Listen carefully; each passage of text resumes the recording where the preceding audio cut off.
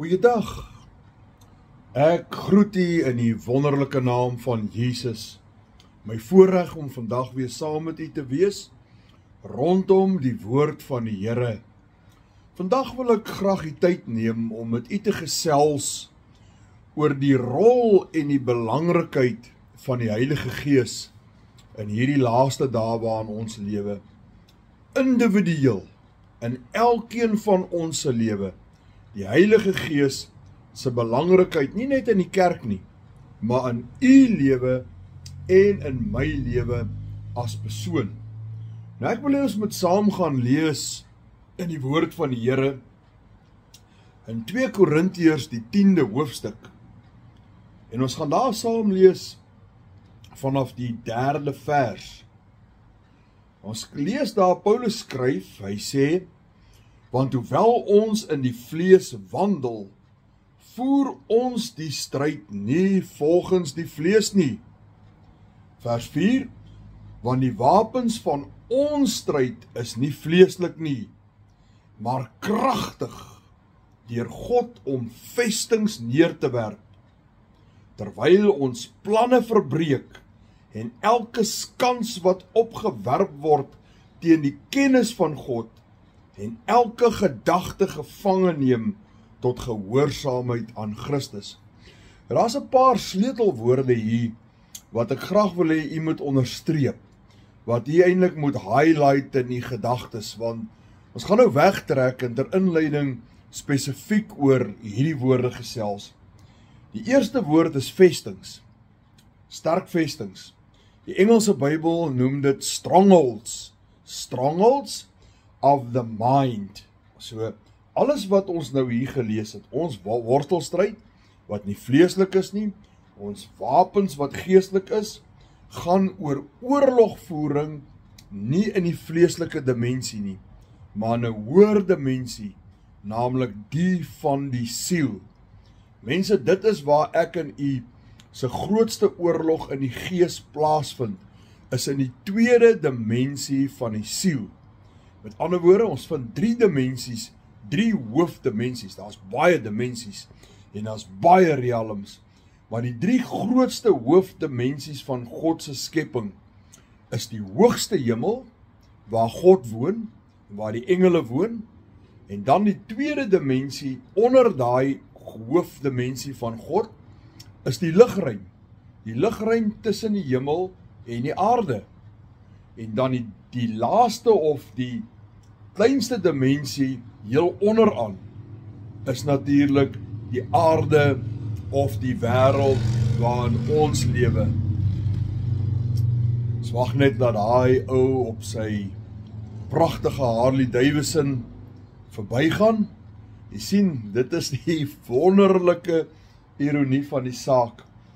Toe ander predikers besig was om die woord van die Here te verkondig en die dinge van die Here te deel, ek met my motorfiets by hulle geboue buite verbygery en hulle gepla. En God laat hom nie bespot nie, nee, net wat die mens saai, dit sal hy maai. Kom ons kom terug by die woord. Nou ons weet ook hierso dat ons wapens geestelik en ons worstelstryd geestelik. En die sielsdimensie is die slagveld. Ons gaan nou 'n bietjie meer sê oor liggaam, siel en gees. Die drie grootste mens groot hoofdimensies, die hemel waar God woon, die lugruim tussen hemel en aarde en die onderste dimensie, die aarde waarin ons woon van stoffelikheid en materie. Nou mense, ek het gesê daar's 'n paar woorde wat u moet highlight en die eerste een het ons gesê is vestings of strongholds en die tweede een wat ek wil hê u moet highlight is gedagtes thoughts, gedagtes. Nou ek sal baie graag vir u ook dieselfde gedeelte wil lees uit die Amplified Bybel uit. So gun my net dat ek die Amplified Bybel hier ehm um, voor my kry. Dan lees ek vir u dieselfde gedeelte uit die Amplified uit. 2 Corinthians 10 verse 4 The weapons of our warfare are not physical weapons of the flesh and blood. No. Our weapons are divinely powerful for the destruction of fortresses, strongholds, vestings. Hier kom nog 'n woord wat dit beskryf, fortresses, nê. Nee. We are destroying sophisticated arguments. Oh, yes, hoor net hier mense. Um die gedagtes wat ons ook beveg is sophisticated arguments. Ons gaan nou ons gaan nou baie meer daaroor sê. And every exalted and proud thing that sets itself up against the true knowledge of God.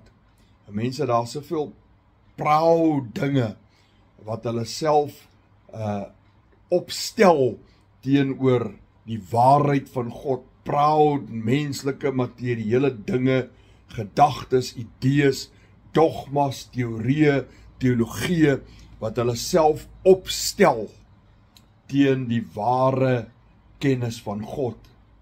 And we are taking every thought and purpose captive to the obedience of Christ. Ons moet ook elke gedagte gevange neem en dit onderwerp aan Christus. Nou mense, ons as mens is ook drieledig. U weet ons bestaan uit 'n liggaam, 'n siel en 'n gees en dit weet ons almal. Goed, maar daar's 'n paar dingetjies oor liggaam, siel en gees wat ons nie almal weet nie. En is wonderlik as die Here deur sy Heilige Gees die goed aan ons openbaar. So luister nou mooi. Hierdie is 'n is 'n lekker een.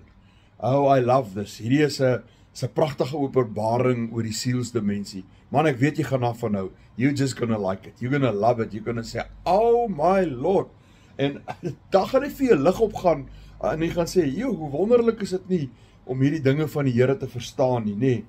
Nou, die mens is 'n liggaam. Dit weet ons want die Here God het gekom en hy het die mens gebou uit die stof van die aarde uit, uit die grond van die aarde gevat, die klei of die modder van die aarde en uiteindelik 'n kleipop of 'n stoffelike liggaam gebou uit die stof van die aarde. En dit is sy liggaam. Toe kom God en hy blaas sy lewe uit die dieptes uit die belly van God uit uit sy diepste wese blaas God lewe uit. God blaas van sy gees in daai pop in, in sy neus in. En daai gees van God wat binne in die stoffelike pop kom, maak daai stofpop lewendig. En daai stofpop, die lewe wat God in daai stofpop inbring, in daai daai clay body laat organe ontstaan, niere ontwikkel, longe ontwikkel, 'n brein ontwikkel, alles in daai in daai pop wat so belangrik is vir lewe hier op aarde begin ontwikkel en vorm aanneem die oomblik toe God sy asem van die lewe sy gees in die mens plaas. Nou sien ons ook dat die mens se liggaam en nou het die mens ook 'n gees geword die oomblik toe God sy gees in die mens plaas, 'n lewende gees. Maar weet jy wat? Die liggaam en die gees is geskep. God het die liggaam geskep en sy gees het hy self gegee uit homself uit in binne in daai liggaam in. Maar die siel, die siel van die mens is nie geskep nie. Nou hier's daai lekker deel. Hier's daai deel wat nou man it is just amazing, it's mind-boggling. Die die siel van die mens is nie geskep nie. Ek en u, ons siele is ook nooit geskep nie. Die dag toe u gebore word, nou moet jy mooi luister.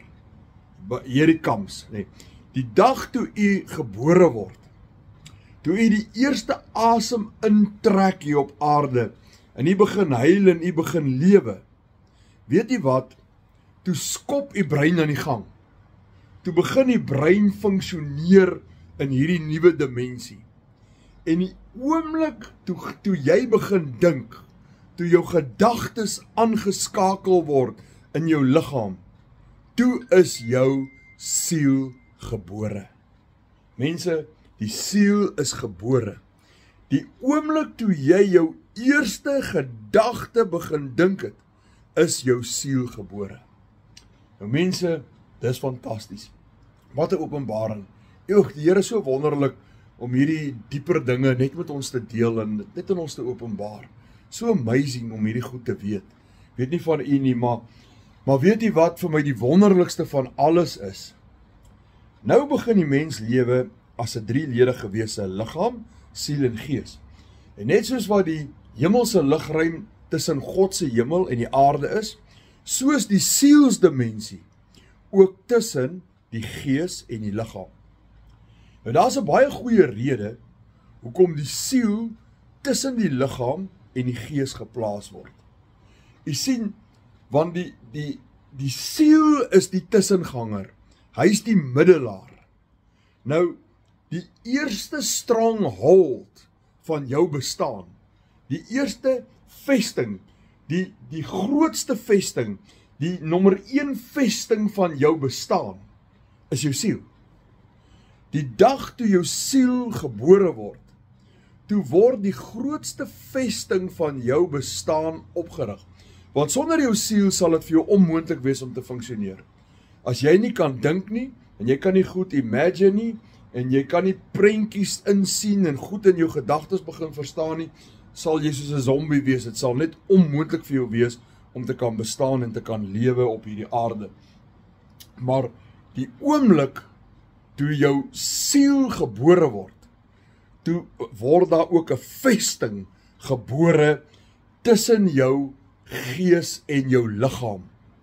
Die vesting van jou siel. En hierdie vesting van jou siel, jou sielsdimensie het 'n troon.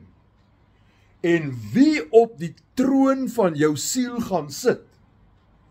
Dit is die een wat jou hele lewe sal beheer. Kom ek stel dit weer vir u want dit is so onsaglik belangrik. Wie ook al op die troon van jou siel gaan sit, sal jou hele lewe beheer.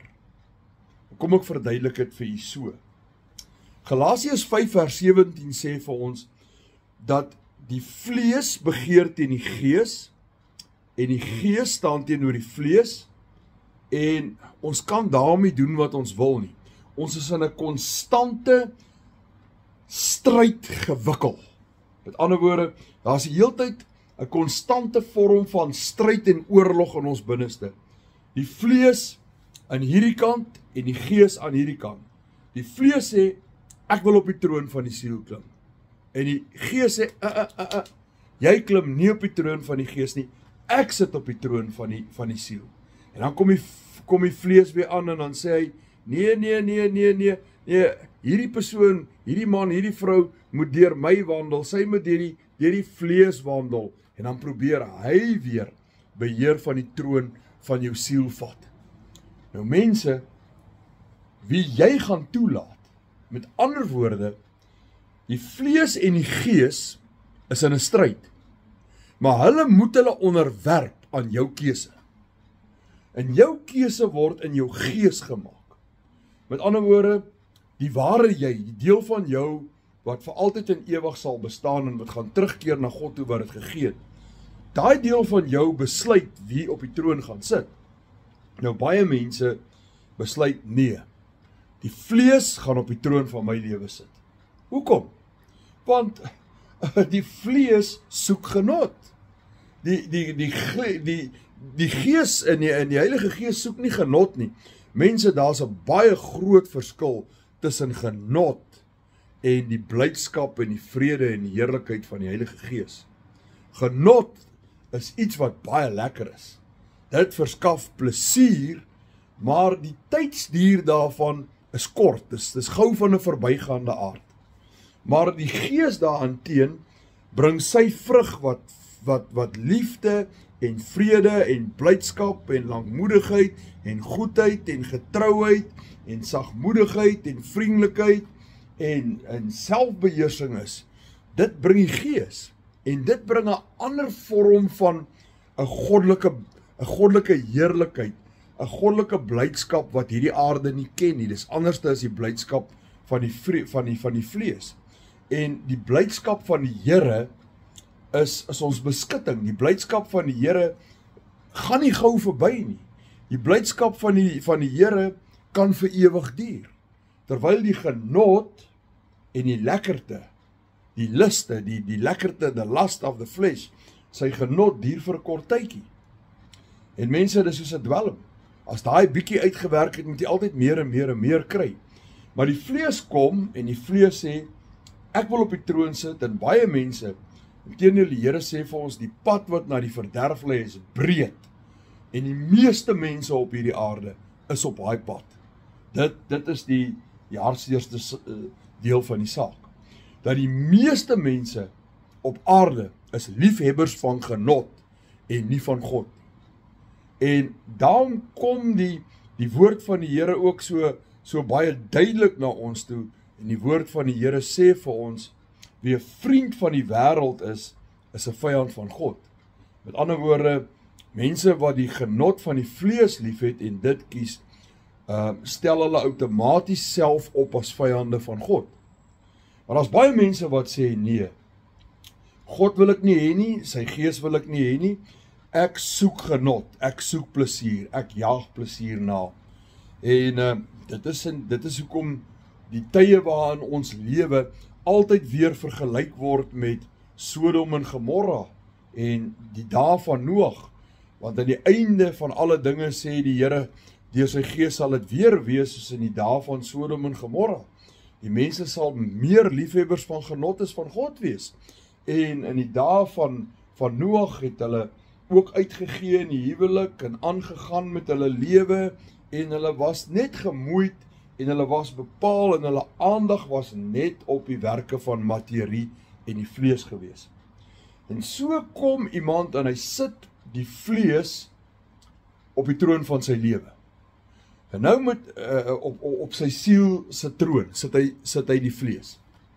En nou beheer die siel alles wat met die gees gebeur en alles wat met die liggaam gebeur. Terwyl die vlees op die troon sit, gaan alles wat met die gees gebeur tot aan die heel bitter einde toe. Tot as jy voor die wit troon oordeel van God staan. Tot wanneer jy eendag verlore sal gaan en in die ewige verdoemenis ingewerk word dit word deur die vlees beheer. Want die vlees is in 'n bondvernootskap met sonde. Sonde en die dood is in 'n bondgenootskap. Hulle is bondgenote met mekaar met die vlees. Vlees, sonde, siekte en dood werk saam. En mense, daarom alles wat gaan gebeur met jou terwyl jy in die vlees lewe, terwyl die vlees op die dimensie op die troon van jou siel sit. Dit is wat met jou gaan gebeur, vleeslike dinge. En dan is daar mense wat sê nee, die vlees gaan nie op die troon van my siel sit nie. En dit is mense wat kragtadig tot 'n bekering en 'n weergeboorte gekom het. Mense wat besef dat die dat die lewe baie meer is as net genot. En mense wat wat besef dat die lewe baie meer is en en ewig is en jou kort tydjie wat ons hier op aarde is is van 'n verbygaande aarde, is 'n vlietende oomblik en daar's mense wat besef dat daar soveel meer is in die lewe en mense wat soek na die dieper dinge van die lewe en hulle vind gewoonlik God soek eers die koninkryk van God en sy geregtigheid. Hulle gaan soek die koninkryk van God.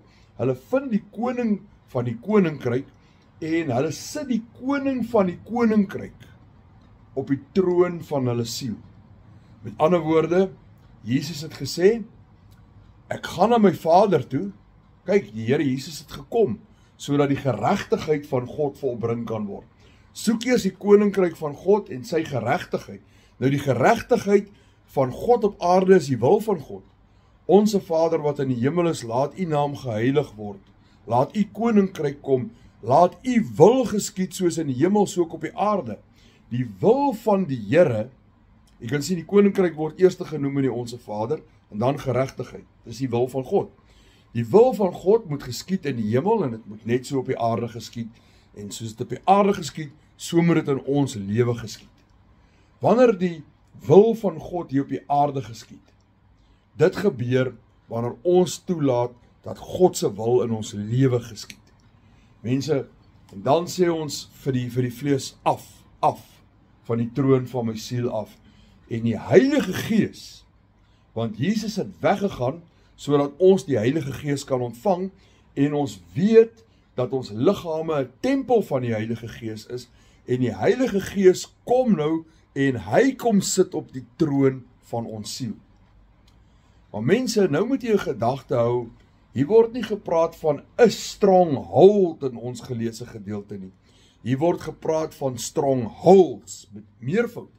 Met ander woorde, ek het die troon van my siel Maar dan het ek ook baie ander kragtige strongholds, gedagtes of idees of imaginations of dinge of planne wat in my siel kan ek sê opgebou is, strongholds word. Nou mense, 'n stronghold is iets wat stelselmatig in jou siel opgebou word totdat is totdat dit 'n sterk vesting word wat wat sterk gegrond wees en 'n goeie fondasie het en sterk staan in jou siel, nê? Nee, en dis amper onmoontlik uh om op enige manier 'n stronghold te oorwin behalwe as deur die krag van God. Mense, strongholds. As ek nou vir julle 'n voorbeeld van 'n 'n stronghold kan gee. Kom ons sê daar is 'n 'n man wat met 'n vrou getroud is en hy slaan haar uitmekaar uit. Maar sy bly maar by hom en al die jare vat sy maar hierdie slaan en hierdie vernedering en alles en sy gaan gee hom nooit aan nie en sy los hom nooit nie. Waarom? Jy sien want daai man het 'n stronghold in daai vrou se sielsdimensie opgebou. Baksteen vir baksteen vir baksteen het hy begin om 'n stronghold in haar in haar lewe op te bou. Hy het haar laat begin glo dat sy eintlik al die klappe in die pak slaas verdien. En en, sy glo ook verkeerlik dat dit miskien die beste is vir die kinders as sy maar by hierdie man bly. En daar's 'n klomp redes dat sy dalk kan glo en hy laat haar glo dat dit haar fout is dat sy geslaan word en sy verdien dit. En sien dit is 'n stronghold wat daar sit.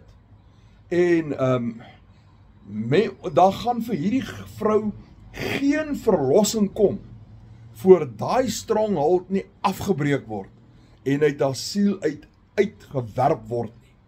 Mense, ek sien 'n stronghold as jy dink in die Bybelse dae aan die groot stede in die Bybelse tyd. Hulle het almal was hierdie groot stede was omring deur diep riviere en is miskien op 'n hoogte gebou, maar dan hierdie hierdie stad 'n muur rondom hom gehad wat dit vir die vyand baie moeilik gemaak het om daai stad in te val en te penetreer. So daai stad was 'n stronghold geweest want hy het goeie beskerming gehad en strongholds word baie goed beskerm. Daar kan strongholds in ons lewe wees wat van God afkom en daar kan strongholds in ons siel in ons siel wees wat van die bose afkom. Strongholds wat uit die vlees uitkom, strongholds wat uit die duisternis en die koninkryk van die wêreld uitkom. Net soos God se koninkryk ook baie dimensies het, baie vlakke. As jy in die koninkryk van God ingaan, is daar baie realms, daar's baie kamers, daar's baie areas, daar's onder deurgrondelike dieptes wat jy kan gaan in ingaan en dinge kan gaan leer en dinge kan gaan ondersoek en goed kan kry. Maar net soos die dimensie van die duisternis wat hier op wêreld in die in die wêreld is. Hy het ook laer vlakke, hy het ook 'n klomp laer en laer en laer helms onder hom waarin mense kan verval. Jy weet so, ander woorde een van daai helms of een van daai dinge wat duisternis in jou lewe kan inbou is byvoorbeeld depressie. Party mense kan in 'n gat van depressie inval. Daarom praat ons van 'n gat van depressie. Mense val in 'n gat en daarom word hy depressief uitgeval. Want hy het eintlik in 'n duistere riem ingeval. En nou word hy toegemessel in daai gat. En die bose vertel vir hom dat jy nie uit daai gat uit kan kom nie. Jy's verdoem met depressie, jou ma depressie gehad, jou oupa depressie gehad en geneties is dit ook deel van jou lewe en jy glo dit en is 'n stronghold in jou lewe. Mense as baie vorms van stronghold. 'n uh, Pragtige jong meisie wat anoreksie het. En tikkie vir tikkie is 'n stronghold in haar lewe opgebou, baksteen vir baksteen, wat haar oortuig dat sy lelik is, dat dat sy vet is en om graatjie maar te wees is baie mooi. Dit's 'n stronghold. En as daai stronghold nie afgebreek word nie. Jy kan maar vir haar soveel kos gee soos wat jy wil. Kos is wat sy nodig het. Vloeistof is wat sy nodig het. Sy gaan eet en sy gaan genoeg eet en sy gaan baie daarvan inneem, maar omdat die stranghold nie afgebreek is nie, gaan sy net haar vinger in haar keel druk en weer al daai kos opgooi. Nou mense, kan jy sien wat skryf Paulus vir ons hierso in 2 uh, in 2 Korintiërs die 3de hoofstuk as hy praat, as hy met ons praat. Nou, hy sê hierso vir ons in 2 Korintiërs 3. Ek wil net hierdie versie ook vir vir u lees hierso. Uh dit is belangrik dat ons ook hierdie ou versietjie gaan lees. Jy's eintlik 2 Korintiërs 4. Is 2 Korintiërs 4 vers 3. Hy sê hierso, maar as ons evangelie nog bedek is, is dit bedek in die wat verlore gaan, naamlik die ongelowiges in wie die god van hierdie wêreld die sinne verblind het. Nou mense, sodat die verligting van die evangelie van die heerlikheid van Christus wat die beeld van God God is nie op hulle kan skyn. Jy sien ons kan soveel lig na hierdie mense toe bring as wat ons wil. Maar die evangelie is bedek vir hulle. Want Satan het 'n strong hold opgebou. Hy verblind hulle sinne. Vir sinne wat verblind is, is ook tipe van van strong holds. Nou mense, dit is waarom sielkundige terapie soms vir baie mense verskriklik belangrik is en tot groot hulp is. Maar die sielkundige kan ongelukkig nie deel met die geestesdimensie nie. Hy kan dalk baie effektief deel met die stronghold in die gedagtewêreld en die denkwyse van die mens. Maar die een wat die stronghold gebou het, die die die duiwelse demoniese of die bose magte, die sielkundige kan nie altyd daarmee deel nie. En dit is waarom ons geestelike wapens het. Dit is waarom Paulus vir ons sê Dit is waarom hy dit so duidelik vir ons kom stel hier in in 2 Korintiërs. Moet dit vir julle lees weer. Uit ons geleesde gedeelte uit uit 2 Korintiërs 10. Daarom stel hy dit so duidelik hierso. Hy sê vir ons hy sê vir ons ons wapens is nie vleeslik nie. Uh die 2 Korintiërs 10 vers 4. Maar kragtig deur God om hy vestings neer te werp. Jy sien dit dit help nie ons gee vir jou 'n pilletjie en ons gee vir jou medikasie nie. Want ons worstelstryd is nie teen vlees nie. Maar ons moet die gees agter daai stronghold bykom. En dit is waar ek en u se wapens die groot rol speel tot ware bevryding, tot ware verlossing. Mense, your mind is actually a palace full of strongholds, a palace of strongholds. Mense, ek wil net vandag vir u sê, dink jy vir een oomblik dat ons vyand nie hierdie goed weet nie. Dink jy vir een oomblik dat die die the prince of darkness, die koning van duisternis, die god van hierdie wêreld, dat dat Lucifer, dat Satan, dat hy en sy bose magte wat al met duisende generasies mense te doen gehad het en wat verhewe kennis het wat wat uit ander realms uitkom. Dink jy vir een oomblik dat hy hierdie goed nie ken nie? Natuurlik ken hy dit. Maar ons as mense dis vir hom belangrik dat hy ons sinne kan verblind. En mense dis vir hom belangrik dat hy hierdie strongholds wat hy opbou in ons mind in plek sal hou. Want hoe meer strongholds hy in ons mind kan opbou, hoe meer verseker hy sy plek op die troon van jou siel. Maar mense, daar is net een wese wat die bose kan afgooi van die troon van jou siel af. En dit is die Heilige Gees van God. Dis waar ons antwoord lê. Dis waar ons oorwinning lê. Nou mense, kan u nou vandag verstaan waarom Satan soveel moeite doen om die werking van die Heilige Gees in ons dag te onderdruk. kan nie verstaan waarvoor hy soveel moeite doen om die werking van die Heilige Gees uit die kerk te probeer uitkry. Kan nie verstaan waarom hy so hard probeer om mense antagonisties en skepties te maak teenoor die werking van die Heilige Gees. Want jou verlossing en my verlossing kan alleen kom deur die krag van die Here God Almagtig, deur die bloed van die Here Jesus Christus, deur die Heilige Gees van God. En en, en die Satan weet as hy sy strongholds verloor het in jou siel. As a man think of so shall he be. As a man think of in his mind in in sy siel. Dis presies hoe hy gaan wees. Dis wat die Bybel ons leer, is wat die Bybel vir ons sê. Jy gaan die produk van jou gedagtes word. Verskoon. Nou wie jou gedagtes beheer, beheer jou hele lewe. Dit is waarom Satan vandag tot alle uiterstes gaan om die werk van die Heilige Gees te onderdruk. Nou mense weet jy wat 'n hele paar jaar gelede om en by in die jaar 2006 het ek van die genade van God verval.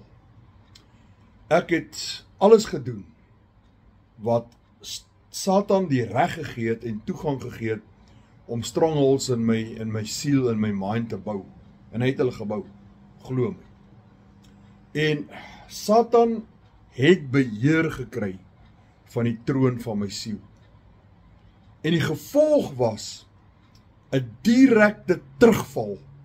'n terugval van uit die genade van God uit uit die evangelie en die verlossingswerk van die Here uit reg terug in tot in die duisternis van hierdie wêreld tot in die koninkryk van duisternis.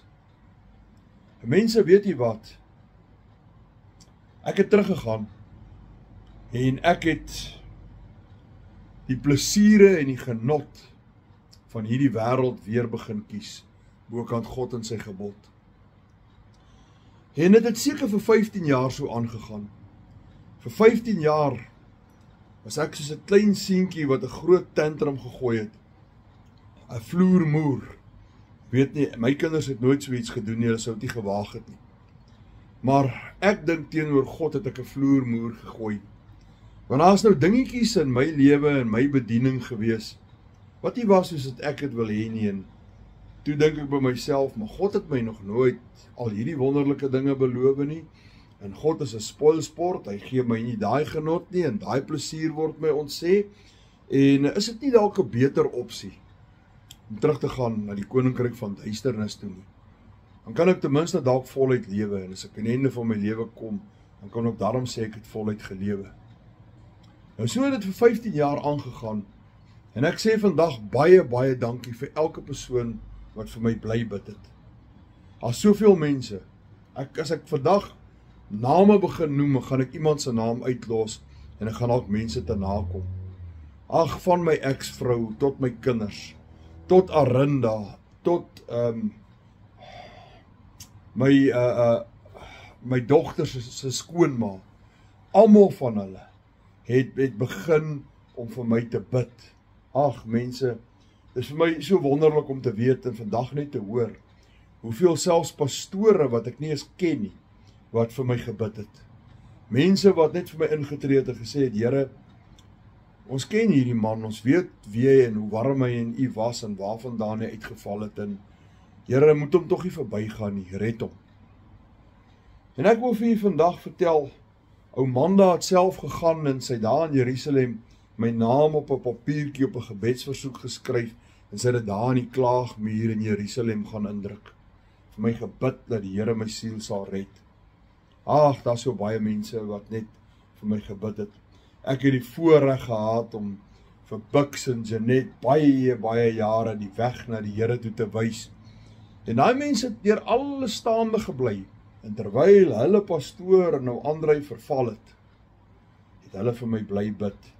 Jy moet nooit die krag van gebed onderskat nie. Bly maar bid vir jou kinders wat nie die Here wil dien nie. Bly maar bid vir jou familie wat ver van die Here af is. Here is nie 'n aannemer van die persoon nie. Wat hy vir my gedoen het, kan hy vir enige ander persoon doen. En ek is vandag glad nie geestelik hoogmoedig nie. Ek wil net hierdie tydjie neem om vir hierdie een ding te sê. Weet jy wat? Al verskil tussen my en die volgende ongeredde ou daar buite is. Ek is deur die liefde en die genade van die Here teruggebring en gered en herstel. Dis al verskil. En daai persoon daar buite kan nog deur die genade en die liefde van die Here ook soos 'n brandhout uit die vuur geruk word. Bly net bid, bly net glo. Mense, toe ek terugkom na die Here toe, omtrent 1 jaar gelede, van die hele tragedie, ek weet nie of ek dit tragedie moet noem nie, want dit het, het gelei tot die redding van my siel en tot die redding van my gees. Ek is vandag terug by die Here. Maar die hele ding in my lewe het begin om by 'n jaar gelede, om en by rondom die 5de Februarie 2023 het ek begin om 'n ernstige hartversaking te ontwikkel. En ek het in die hospitaal geland. Ek was in en uit in die hospitaal met hierdie hartversaking. Nog nie by die Here uitgekom nie. Nog nie ehm um, die Here aangeroep in my benoudheid nie. Ek het daar deur 'n dal van doodskade weer gegaan in Niemandsdorp Hospitaal. Ek het daar gelê en ek het letterlik dood gegaan en 'n dokter het verby my gestap op daar waar ek gelê het op die stretcher. Hy het gesien ek's dood. Gesien ek het opgehou asemhaal, ek het nie 'n pols nie. Het CPR op my begin doen en hy het my teruggebring. Nogtans het ek nie die Here aangeroep nie. En ek het teruggegaan na my werk toe en teruggegaan na my lewe toe. En uh weet jy wat? Die versaking het weer met aggressie teruggekom. En ek het een môre by my werk gestaan en my bene was geswel soos twee ballonne en ek is dadelik na my dokter toe, na dokter Petro Marits toe, 'n engel van die Here hier op aarde. En sy het dadelik vir my gesê Andre, hospitaal toe nou met jou, dit dit lyk nie goed nie. En net einde is ek is deur die hospitaal, ek is deur Hemansdorp Hospitaal, is oorgeplaas na Livingston toe waar hulle my been afgesit het. Daar waar ek in Livingston gelê het waar ek my linkerbeen bo kan die knie verloor het. Het die Here God hospitaal besoek kom doen en my weer gered en my soos 'n brandhout uit die vuur uitgeruk. Nou weet jy wat was vir my die grootste skok toe ek terugkom in die koninkryk van die Here? Weet jy wat was vir my die hartseerste saak? Een van die ergste dinge wat ek ondervind het is om te sien dat nie dit is nie net ek alleen wat teruggeval het maar die kerk van die Here, God Almagtig, ook teruggeval. Dit was vir my 'n grenslose hartseer saak. Mense, ek kan nie begin om vir u te verduidelik wat dit aan my gedoen het om te sien in watter toestand die kerk van die Here is nie. Daai kerk van Laodicea wat die Here Jesus aan Johannes gewys het en gesê skryf aan die sewe sterre, skryf aan die pastoor van van Laodicea. Hy sê jy besef nie dat dit jy wat arm en naak en beklaanswaardig is nie. Hy sê jy het lou geword. Was jy maar warm, was jy maar koud, maar jy's lou. En omdat jy lou is, sê die Here, gaan ek jou uitspoeg, gaan jou uit my mond uitbraak. Dis die toestand waarin ek die eens warm kerk wat ek geken het, vol van die Heilige Gees. Mense, toe ek uit die kerk gegaan het en toe ek van die genade verval het, was die kerk aan die brand. Die Heilige Gees het op die regmatige troon van die kerk gesit. Die Heilige Gees het sy regmatige plek in die kerk gehad. Weet jy wat? Ek het 'n been verloor toe ek teruggeval het. Weet jy wat is meer tragies? Die kerk het die Heilige Gees verloor toe hy teruggeval het. En ek sê dit vir u met die grootste empatie, met die grootste nederigheid teenoor God, met die grootste respek met die grootste erkenning en nederigheid en sagmoedigheid teenoor die Here God. Hier's nie selfverheffing hier nie. Dit was vir my die hartsteerste saak om baie van die kerke waarvan ek 'n deel was. Die kerk waaraan ek kragdadig tot bekering gekom het, is vandag 'n kerk. 'n Kerk waar wat ek weet nie maar ons het daai jare nog kerk gebou omdat daai kerk so fantasties gegroei het. En die gees van die Here het gewerk en siekes het gesond geword. en duiwels was uitgedryf.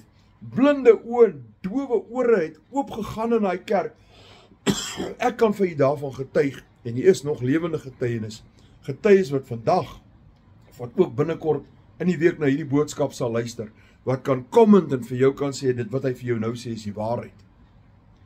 En daai kerk nou, daai kerk het verval. Daar's nie meer plek vir die Heilige Gees in daai kerk nie. Tot die tuin rondom die kerk is verwaarloos. Maar daai kerk is in so 'n toestand dat die pastore, die leierskorp van daai kerk is mense wat drink en rook. En weet jy, ek wil nie jou net na een kerk verwys nie. Want uh voor verlede naweek kuier ek by mense en 'n persoon vertel vir my dat die lekkerste ding vir hom is as om sy pastoor uit te nee, te nooi vir 'n ou braaitjie en dan kyk hulle saam rugby en dan drink hulle saam 'n wyntjie. Mense, mense, mense, mense. Nou verstaan vir my baie mooi vandag. Ek veroordeel nie. Luister mooi. Ek sê nie vandag dat 'n glas wyn jou hel toe gaan vat nie. Maar wanneer jy 'n opsiener is, wanneer jy 'n amp in die kerk beklee, dan is die woord van die Here baie baie duidelik dat 'n hoë opsiener moet lyk. Hy's 'n man van een vrou. Dis 'n man wat nie 'n drinker is nie. Hy's nie 'n vuil windsoeker nie en hy is iemand. Hy's iemand wat nie van twis en nydigheid en kwaadsprekery en daai goed hou nie.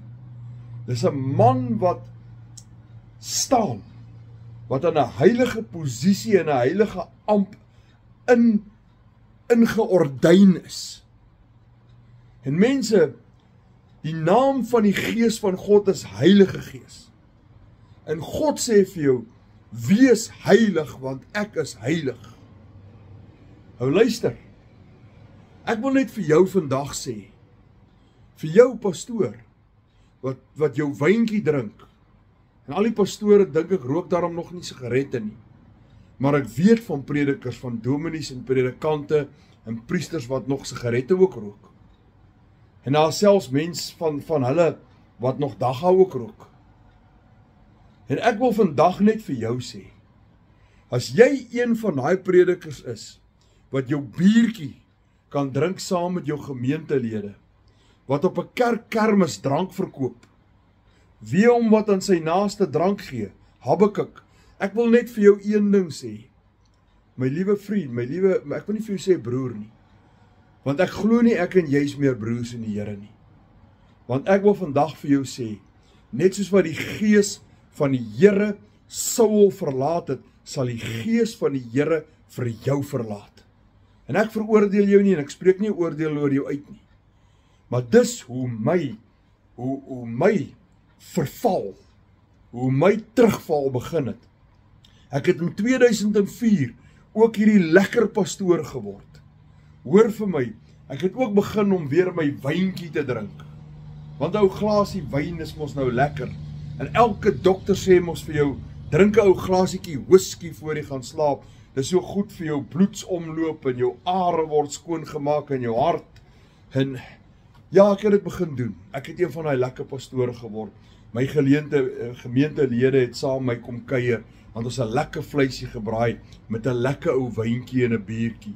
En ek het saam met self saam met sekere van my gemeentelede na 'n pap toe gegaan. Glo dit of nie, na 'n pap toe. En daar het ek saam met hom gesit en drink. En ons het nie net 'n wyntjie gedrink nie, die wyntjie het 'n brandewyntjie geword. En ek wil vandag vir jou sê, dit is waar ek al my gesag op die kansel verloor het. Dit is waar ek al my autoriteit verloor het in die gees van die Here. Weet jy wat het gebeur na my wyntjie en my biertjie en my brandewyntjie en my so nou en dan 'n soetertjie ook? Weet jy wat het gebeur? Demone is nie meer uitgedryf in my bediening nie.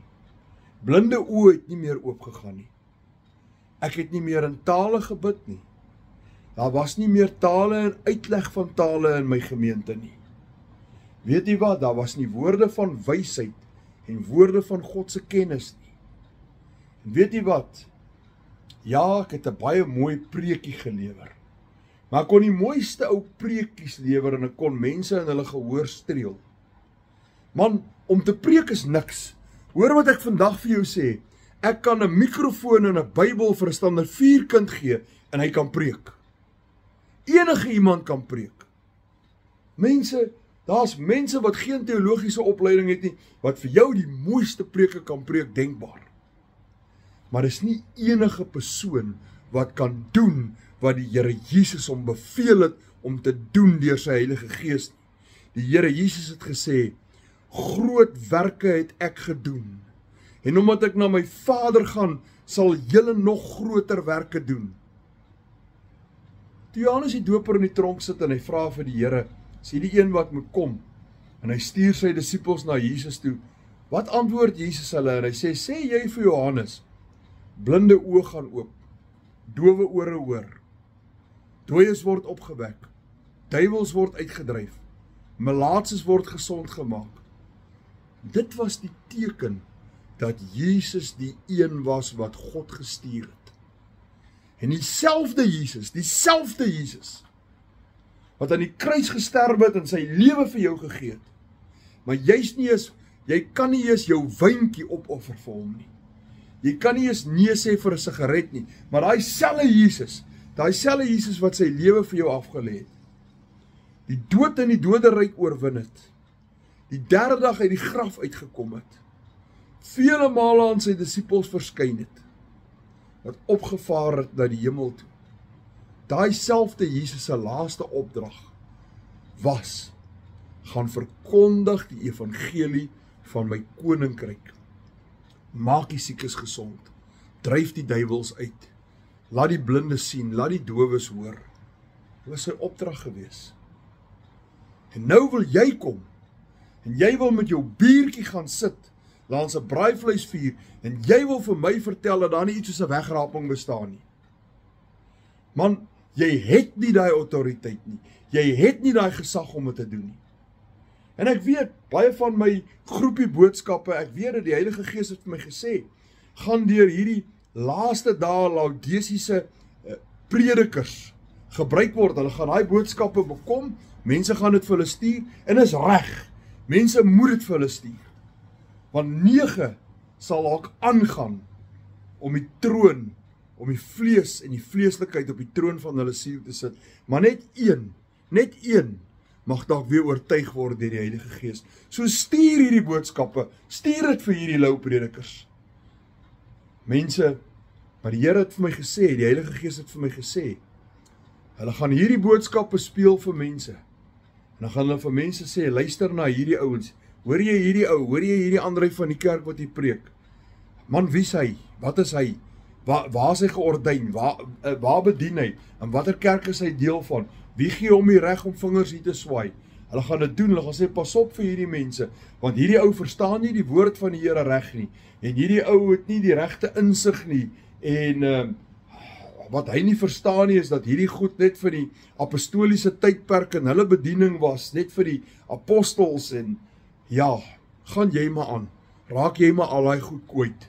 Sê jy dit maar vir mense, leer dit maar, maar van elke woord wat jy God se skape leer, en vir elke ding wat jy vir hulle sê wat hulle laat val en struikel jy sal rekenskap daarvan gee hoor vir my hoor vir my wat ek vandag vir jou sê voor die Here God almagtig jy sal rekenskap gee en die Here sê dit sal vir Sodom en Gomorra in die dag van oordeel beter wees as vir jou wat een van hierdie kleintjies tot 'n val gebring het maar luister mooi ek sê dit nie met vingerwys en veroordeel nie Ek sê dit met die diepste leedwese en die diepste jammerte. I've been there. That is how I fell from grace. Dit is hoekom ek wil jou waarsku. Ek wil vir jou, ek wil 'n diepe waarskuwing na jou toe bring. Mense, as jy in 'n kerk sit waar die pastoor drink en waar die pastoor rook en waar die pastoor 'n lekker ou is, vlug uit daai kerk uit. Vat jou goed en loop kom uit. Moet jou nie onderwerp aan daai lering nie, kom uit. Mense, as jy wel 'n kerk gevind het waar die gees van God welkom is, waar die Heilige Gees van God nie onderdruk word nie, waar die Heilige Gees van God werk, waar daar gebid word vir bekerings en wedergeboorte. Dat mense in trane kom opbreek op 'n uitnodiging voor die Here omdat die Heilige Gees hulle oortuig van sonde en geregtigheid en oordeel. En omdat siekes gesond gemaak word, omdat dowes hoor en blindes sien en dooies opgewek word en omdat demone uitgedryf word. Hes jy in daai kerk is. En daar word in tale gepraat. Jy's word mense word gedoop met die Heilige Gees en met vuur uit die hoogte uit met die gepaardgaande spreuke in nuwe hemelse tale. Die uitleg van tale die werkinge van die gawes vind daar plaas. Daar's woorde van wysheid en woorde van kennis. Geloof wat berge verskuif. Mense profeseë onderskeiding van geeste spreuke in allerlei tale die uitleg van tale die gawe van genesing, die werkinge van kragte. As jy daar in 'n kerk is waar hierdie dinge nog steeds gebeur, sak op jou knieë neer en sê vir die Here dankie. Bly in daai kerk. Daai kerk het jou nodig want is die liggaam, dis die hele liggaam wat wat wat wat die wese van die kerk vorm, nie net die hoof nie. En ek sê vir jou, wees daar, bly daar, bedank die Here God gaan op jou knie en sê vir hom dankie vir jou leraar wat sy stem kan hoor. Wees daar, bly daar, hou sy hande omhoog soos wat Moses se hande omhoog gehou was deur Aaron en Josua sodat die oorwinning die hele tyd kan bly. Staan by die man van God. Hou sy hande omhoog. Wanneer mense hom aanval, vorm 'n skild en 'n muur rondom hom sodat sy aanv die aanvalle teen hom afgeweer kan word sodat hy kan fokus op die werk van die Here wat hy moet doen en nie op die aanvalle van Satan nie. Tree jy vir hom in die bres? Staan jy vir hom in die midde? Mense is vir my hartseer dat ek my been moes verloor maar my been wat ek verloor het het my teruggebring na die Here toe Dit is vir my hartseer dat die kerk van ons dag die Heilige Gees uitskuif. Ja, enige iemand kan preek. Enige iemand kan 'n mooi preek preek. En mooi preke kan kerke volmaak en dan sê hulle dis kerkgroei. Daai is nie kerkgroei nie. Dis dis dit dit mag moontlik 'n kerkgroei wees, maar dis nie koninkryksgroei nie. Dis nie koninkryksgroei nie. Koninkryksgroei is wanneer 'n siel tot wragtige bekering en weergeboorte kom, sy naam geskrywe word in die boek van die lewe en daai persoon vervul word met die Heilige Gees en die Heilige Gees die Parakletos sy leermeester word, die een wat op die troon van sy siel gaan sit sodat daai persoon deur die Gees sal lewe en nooit die begeerlikhede van die vlees volbring. Dit is koninkryksgroei. Dis waarop ons fokus. Mense, die Here is besig om in hierdie laaste dae weer 'n kerk op te wek. 'n Kerk op te wek om ware gelowiges op te wek. sien toe Elia gaan wegkruip in in toe toe Isebel hom wou doodmaak. Toe sê hy: "Here, is net ek wat oor is." Toe sê die Here: "Nee, daar's nog oor. Ek het nog nog van van my ware profete is word weggesteek in 'n grond in 'n grot. En daar is nog ware manne van God. Ware manne van God en ware vroue van God oor wat in hierdie laaste dae gaan opstaan en hulle gaan deel van die ware eklesia van God word. Nie deel van die ware kerk nie. Kerkmense, kerk se tyd is besig, die era van die kerk is besig om verby te gaan. Mense staan reg oor kerkgrense op. Mense staan oral op wat moeg is vir die koue, half afgewaterde evangelie, vir die mooi predik preekies van uh bless vir 'n uh, holy bless bless you club, solank ons net by jou beursie kan uitkom. As mense wat moeg is daarvoor. As mense wat God in gees en waarheid wil dien. Nie net in waarheid nie, in gees ook. Mense wat tyd en plek het vir die Heilige Gees en toelaat dat die Heilige Gees hulle leer onderrig want julle sal krag ontvang wanneer die Heilige Gees oor julle kom. Mense, in daai krag in die Handelinge 1 vers 8 krag van die Heilige Gees wat ons wil lewe, wat ons wil opstaan. Waarin ons vir die Here God 'n verskil wil maak op hierdie aarde. Ek wil graag ter afsluiting vir u net lees uit die eerste algemene brief van die apostel Petrus, hoofstuk 1, vers 2. En Petrus skryf vir die uitverkorenes volgens die voorkennis van God die Vader in die heiligmaking van die Heilige Gees. Daarso staan dit. U kan dit gaan lees. Ons lewe in seker een van die interessantste tydperke van God nog op aarde. It's election time. God is once again moving by his spirit through this earth, all over this earth, and he's searching for the elect ones. Hy God soek vir die uitverkore persone wat hy 'n lewe van heiligmaking lewe. 'n Lewe van heiligmaking in die gees. Het ek dit nou net vir u gelees. Jy is uitverkore. God gaan jou kies. God gaan jou uitkies tussen baie omdat jy in die heiligmaking van die Heilige Gees lewe. Die uh, die apostel Petrus, die eerste hoofstuk, die tweede vers. Gaan lees dit in soveel vertalings as wat jy wil. Uitverkore. God kies nou mense. Hy kies nou mense uit in die heiligmaking van die Heilige Gees. Ek sluit af. Mense baie dankie dat jy na hierdie boodskap geluister het. En mense jy mag dalk nie met alles saamstem wat ek sê nie. Maar 'n ou wyse prediker het per geleentheid gesê: "Eet die vleis en gooi die bene weg." Baie keer kan ons nogal baie met die bene opmaak.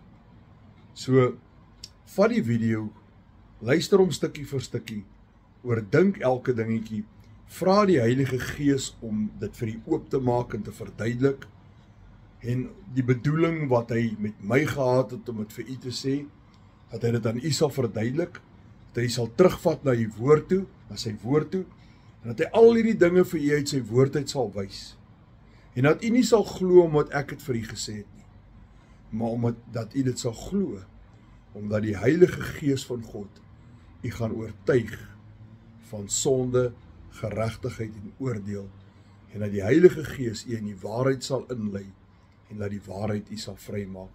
Baie baie dankie. Die Here seën u.